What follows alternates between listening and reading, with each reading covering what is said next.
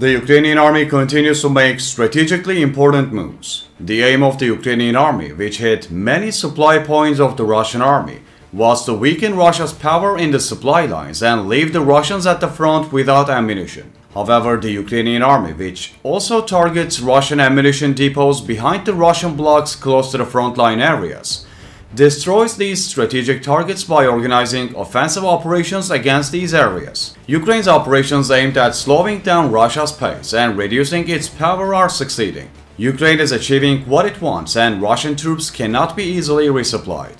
However, the Ukrainian army recently carried out another strategic attack and destroyed the Russian Borisoglebsk 2 high-value electronic warfare system. In the video published on the official Facebook account of the Ukrainian Armed Forces Artillery and Missile Units, it was revealed that Ukrainian Special Forces destroyed a Russian electronic warfare system. The 301B Borisoglebsk 2 electronic warfare system, located near Novopetrivka in the Donetsk region, is considered the cornerstone of electronic warfare in the Russian army.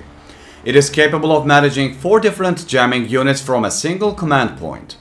The Ukrainian army has achieved an important job by destroying this electronic warfare system. The Ukrainian army's successful destruction of these targets by attacking strategic targets makes Russia's job very difficult. Do you think the strategies implemented by the Ukrainian army are correct?